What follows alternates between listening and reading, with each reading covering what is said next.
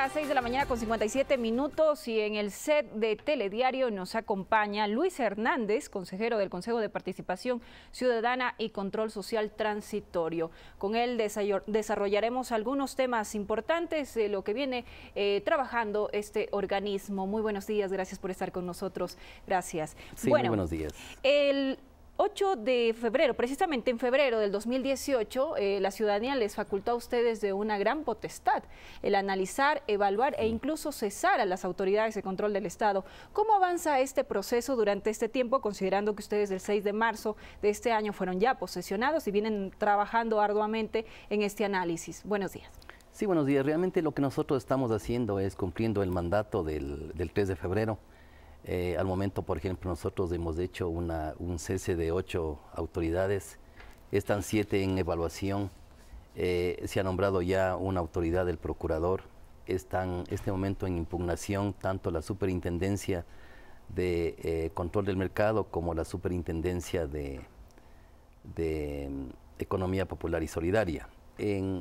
estando en periodos de impugnaciones, se ha recibido impugnaciones algo que no sucedió en el caso del procurador. Entonces eso determina que las comisiones técnicas presenten el informe y en base a eso nosotros tenemos que evaluar. Nosotros hemos tenido mucho cuidado de que las impugnaciones realmente sean documentadas, tengan su, base, de manera que siempre se esté protegiendo la dignidad eh, de los que son evaluados, porque no se puede permitir que se pueda decir cualquier cosa sin que exista el fundamento respectivo. Entonces las impugnaciones tendrán justamente ese, ese fin y tendrán que ser examinadas desde ese punto de vista. Bueno, uno de, los cuestionamientos que se ha realizado últimamente es eh, sobre la cesación en funciones de los miembros del Consejo eh, Nacional Electoral. ¿Cómo avanza este proceso? Ellos ya han presentado las impugnaciones respectivas a la resolución que ustedes emitieron. Sí, han terminado de hasta el día de ayer, ya entregaron las impugnaciones. Eh, nosotros tenemos siete días para analizar, hay una comisión técnica también que evalúa, luego de eso los consejeros recibimos toda la información y se procederá a una decisión final la próxima semana, con lo cual se terminará este proceso del Consejo Nacional Electoral. Está todavía por, eh, por definirse cuál va a ser el mecanismo en el caso de que haya el cese. Hay que también considerar aquí que cuatro de los vocales del CNE están en funciones prorrogadas, o sea, ellos iban a terminar de todas maneras. Entonces, el siguiente paso es realmente eh, crear las condiciones más favorables de manera de nosotros pasar directamente a la elección de un CNE definitivo. Eso es muy importante. Eh, yo creo que es eh, también un asunto que tenemos que mantenerlo siempre en mente, que las autoridades que se designen tienen que tener un alto nivel de probidad y de ética, porque muchas veces se maneja la especialidad, se dirigen los concursos en algunos casos a la especialidad. Eso es una parte. Tenían falta de. Pero no es todo. Lo que es importante, me refiero a, o sea, muchos aspectos de lo que necesita. En el caso del CNE, yo voy a estar un, un, ejemplo que conoce mucho la ciudadanía. La forma como se manejó, por ejemplo, el tema de los partidos que pidieron eh, que se recolecte firmas para evitar la reelección indefinida. Se puso obstáculos, por dar un asunto que toda la ciudadanía lo conoce. El tema de los Días Unidos, cómo se puso obstáculos cuando debe ser un organismo que tiene que facilitar justamente que se pronuncie en este caso el pueblo, eso está en la Constitución. Entonces, el momento en que el organismo no tiene la probidad y no tiene la ética necesaria, cualquiera que Consejero Hernández, las cosas no funcionan. Usted menciona la falta de probidad de los miembros del Consejo Nacional Electoral que aún después de la apelación ya conoceremos si en efecto son cesados definitivamente. Em, esta falta de probidad nos referimos también a que fueron parte de cierto movimiento político o apegados al Ejecutivo de aquel momento. ¿Esos son los parámetros que ustedes analizan para la cesación? Bueno, yo hablando, estoy hablando de probidad, eh, ¿cuál debería ser? la personalidad no solamente del CNE, sino de todos los organismos. Específicamente, cuando yo digo probidad me refiero de forma general. En el caso específico del CNE hay causales que los conoce la ciudadanía. Por ejemplo, El, como dije anteriormente, los días unidos, mire cómo se manejó ese tema. Ese es un tema que no se permitió realmente que se pronuncie la ciudadanía, eh, la forma como se manejó la recolección de firmas. Luego tenemos cuando hubo el pronunciamiento de ciertos partidos políticos para que les permitan recoger firmas para evitar la reelección definida, no para evitar, sino que para que se pronuncie el pueblo ecuatoriano, no facilitaron. Entonces esto quiere decir que no eran independientes, que obedecían no a la voluntad del pueblo ecuatoriano, sino a cierto interés particular del gobierno que estaba en esos momentos. Entonces, tenemos que buscar que en el futuro estas organizaciones que tienen que ser independientes no estén solamente, solamente al interés del gobierno de turno, sino del poder de lo que significa el pueblo ecuatoriano. Al considerar la falta de probidad, como usted menciona, de los miembros, eh, también carecería de legitimidad los actos procesales, eh, eh, los procesos electorales que ellos realizaron y los actos administrativos. No, porque el hecho de que usted sea una persona que se cuestione algo, la forma como llegó a un lugar, no quiere decir que sus actos sean ilegales, porque usted puede proceder de buena manera, o sea, de acuerdo a lo que dice la ley. Y lógicamente todo eso se, ha evaluado. Entonces, es un ilegítimo no significa ilegal y no significa también que todo lo que usted produce es ilegal. Depende cómo usted ha procedido. Bueno, en todo caso, ustedes eh, definirán la próxima semana en la sesión del Pleno cuál va a ser la decisión respecto a las apelaciones que ya eh, han mencionado algunos eh, vocales del Consejo, precisamente sobre la decisión que ustedes tomaron. Sí, eso se está, se está evaluando, o sea, termina la evaluación en el momento en que hay ya la resolución definitiva, que será la próxima semana. Bueno, y el, también el tema de la designación del superintendente de la información y comunicación es provisional, no es definitiva, caso contrario con lo que sucede con el procurador. Eh, ¿En base a qué se definió solamente hacerlo provisional? ¿Y qué es lo que va a hacer este nuevo funcionario? Este momento está en debate en la Asamblea la nueva ley de comunicación y en esa nueva ley de comunicación se elimina la superintendencia de, comunicación. Es muy posible que eso suceda. Entonces es mejor nombrar un encargado que me imagino ante el escenario de que se elimine, él tendrá que realmente cerrar las puertas y cerrando las puertas significa que tendrá que, en este caso? por supuesto tiene que ver cómo, cómo quedó y cómo va a quedar todos esos eh, recursos, tanto humanos como materiales y de presupuesto que tuvo esta superintendencia. Entonces yo creo que es importante la persona que va eh, de acuerdo al currículum, una persona que conoce del, tema, que eh, sabe lo que tiene que hacer y en funciones de encargado él va a tratar de que haya una transición adecuada en el caso de que realmente se elimine de manera definitiva esta superintendencia. De los 11 funcionarios evaluados por el Consejo de Participación, seis de ellos estarían, eh, tendrían cercanía, ¿no? Tendrían independencia, eh, como se lo mencionaba en algunos medios de comunicación y también en la sociedad. ¿No tendría la independencia eh, para trabajar y estaban ligados al gobierno anterior? Bueno, eso es, eso es obvio. Lastimosamente eh, eh, son cosas que no se puede eh, decir lo contrario. Empecemos, empecemos por el fiscal, por ejemplo, que ya salió, que le cesó la asamblea. Él era prácticamente una persona muy cercana al presidente Correa. y luego tenemos todos los que han estado en muchas de las funciones que actualmente ya han sido cesadas, eran parte del gobierno. Y más que nada, la, forma como manejó el presidente Correa, su, totalitarismo en el manejo del poder, les volvía menos independientes. Y yo creo que eh, uno tiene que, puede partir de un, de un concepto de no independencia, pero el momento que está usted en su función, usted puede demostrar que es independiente, que usted se separa de ese cordón umbilical que es lo que originó la llegada a ese superintendencia o puesto público. Pero lastimosamente eso no pasó y los hechos lo demuestran.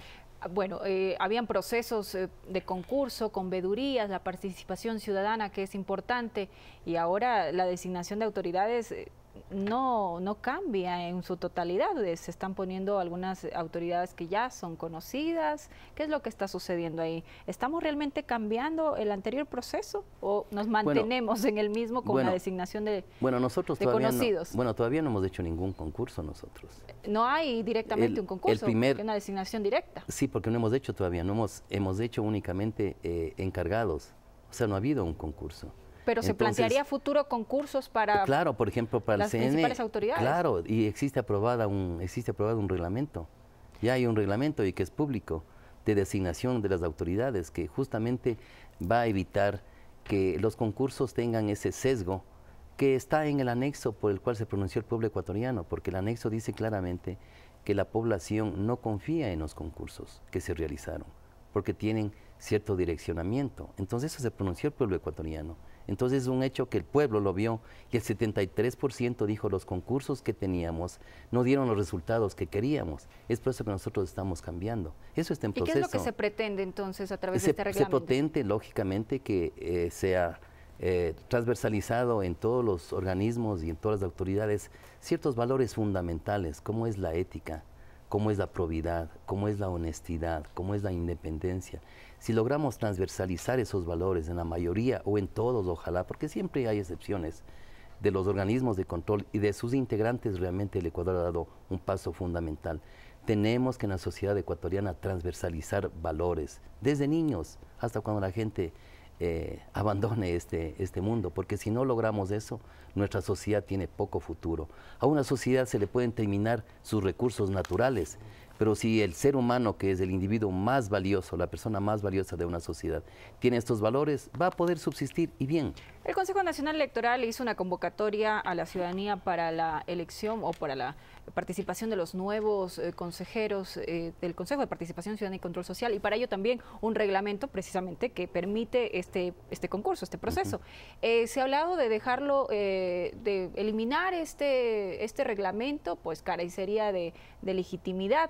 ¿Ustedes están de acuerdo con esto? ¿Los nuevos representantes del Consejo Nacional Electoral deberán hacer esto?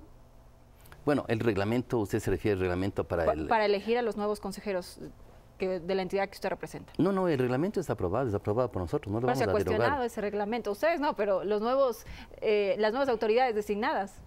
Así es. Eh, bueno, no están designadas nuevas autoridades todavía. Las que vayan a elegir Las que vamos a elegir nosotros, sí. Eh, obviamente es un reglamento y es un reglamento que está, está ahí para que sea observado. Es como nosotros pensamos, es como eh, recogiendo el mandato del pueblo ecuatoriano, nosotros expresamos a través de un instrumento que se llama reglamento, habrá personas que estén en contra, eso es, eso es, eh, eso es natural en democracia. Ahora, obviamente eh, se escucha que tienen que algunos organismos centrarse en la especialidad. usted puede tener un muy buen técnico, esa es una parte, es una parte de la persona, pero ¿y si no tiene valores éticos? ¿Cómo, hacen ese análisis? ¿No eh, será algo subjetivo ese análisis? No, no es subjetivo. Para comprobar. Porque usted tiene que, usted tiene que, en primer lugar, pasar por una etapa de impugnaciones. Notoria, por ejemplo. Usted tiene que tener una etapa de impugnaciones, ahí ya le pueden impugnar. Usted tiene que ver su pasado, su pasado, a ver qué es lo que ha hecho y cuáles han sido sus acciones. Y ahí se determina. Lógicamente, no es perfecto, nunca es perfecta una designación porque depende de la persona. Usted puede designar a una persona proba, a una persona técnicamente preparada, pero el momento en que está en el poder o el momento en que toma que tomar decisiones puede fallar, pero tenemos que reducir ese espacio en el que puede fallar al mínimo posible. Entonces eso es en base a las impugnaciones, al conocimiento, a la trayectoria. Por ejemplo, si una persona ha ejercido una actividad, su trabajo durante unos 15, unos 10 años, es mucho más tiempo para él haber sido expuesto a cometer errores. Y si no ha cometido, quiere decir que a futuro las oportunidades para que él pueda cometer errores son menores. Pero usted no tiene experiencia, nunca ha tenido ningún riesgo. Es más fácil que tal vez usted pueda cometerlos. Consejero Hernández, le pregunto, ¿estaría usted de acuerdo con que el Consejo de Participación Ciudadana desaparezca? Lo que esto implicaría también una reestructuración en, todo lo que se refiere a la estructura del Estado, una, tal vez una asamblea constituyente. Eh, cuando yo estuve en Montecristi, eh, yo en mis, en mis ponencias y deben estar ahí registradas, por supuesto, estuve en contra de este Consejo de Participación Ciudadana. No hay razón de que exista. Nosotros somos una democracia representativa. Nuestros representantes son los asambleístas. Es ahí que tienen que ser elegidas esas autoridades de control. Lo que se necesita es que tanto de parte del Ejecutivo como en el Legislativo, en primer lugar el Ejecutivo remita ternas que tengan características que realmente sean las que se necesitan. Pero ya vivimos, consejero, este, en épocas pasadas eh, la designación de autoridades desde la Asamblea mm. y fue por temas políticos, o sea, es que, sí, una cuota política. ¿Volver a eso? Mira, no, no, no se trata de volver, se trata de mejorar. Porque usted en una sociedad, usted tiene que ir mejorando las cosas, no tiene que ir borra y va de nuevo. Eso no sirve. ¿En qué mejoraría? Y mejoraría en que después de esta experiencia, después de esta experiencia ya tenemos más, más insumos para saber qué es lo correcto. Hemos tratado esto y vemos que no funciona. Realmente no va a funcionar. Yo estoy en, yo estoy en contra de que continúe esto. Por supuesto, creo que tiene que volver a la asamblea y tiene que haber una madurez. Se supone que tenemos que haber madurado después de todo esto. Y justamente esa madurez va a determinar, mire, quiere decir que las, las ternas sí funcionan. Nosotros somos fruto de unas ternas enviadas por el presidente. Y la asamblea en base a esas ternas decidió. Creo que la elección no salió tan mala, ¿no es cierto? Entonces quiere decir que sí funciona. Si todos nos transversalizamos por estos valores éticos que yo le digo, tanto presidencia de la República, me refiero a futuro, como asambleístas, van a ver las designaciones adecuadas. Porque este sistema, este sistema, en primer lugar, es el único que existe en el mundo. Se sale de lo que significa la trilogía de separación de poderes. ¿Cómo vamos a canalizar la participación ciudadana, consejero? La participación ciudadana está a través de los asambleístas. Es por eso que es democracia representativa. Ahí está la participación ciudadana. ¿Y las demás representaciones de la ciudadanía? Las vedurías, las comisiones. Usted tiene, usted tiene en cada provincia, usted tiene un asambleísta. Usted tiene en cada provincia un asambleísta. Ahí está la participación. Los asambleístas representan a una población, a una población en Esmeraldas, a una población en Manabí. Ellos están con su población. A ellos tienen que acudir para indicar cuáles son sus necesidades, cuáles son sus preocupaciones. Eso es lo que tenemos que hacer y de esa forma se tiene una democracia realmente con separación de poderes y evitando este tipo de organismos que el tiempo ha demostrado que no eran adecuados. O sea, hay la, probabilidad de que se elimine entonces este consejo. y nos llama inmediatamente ya a pensar que vamos a tener una asamblea constituyente en este caso. Lo que nosotros tenemos como parte de nuestro mandato, tenemos que nosotros presentar, me refiero al consejo, una normativa que permita mejorar todo el sistema. Y yo creo que una de las normativas, una de las cosas que pediremos, particularmente yo lo haré, eh, es eliminar este consejo. Y si es que lógicamente ese es el consenso de la mayoría de los ecuatorianos, habrá que haber una asamblea constituyente. Claro, porque, dentro de la vía constitucional eso es parte de la estructura del Estado. Exactamente. Y el momento que se elimine, puede ser una asamblea constituyente muy, muy puntual, solamente para este tema, con muy pocos asambleístas, porque realmente tenemos que dar una estructura del Estado que permita que avancemos y no que, como en este caso, nos hayamos detenido pensando que todo lo anterior era malo y no es así. Tenemos que los ecuatorianos de entender que no todo lo pasado es malo.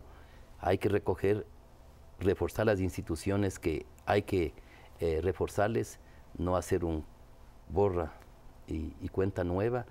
En verdad, en el Congreso habría problemas cuando se designaban las ternas pero también había congresos que designaban ternas de primera, contralores que hasta ahora les recordamos que eran de primera.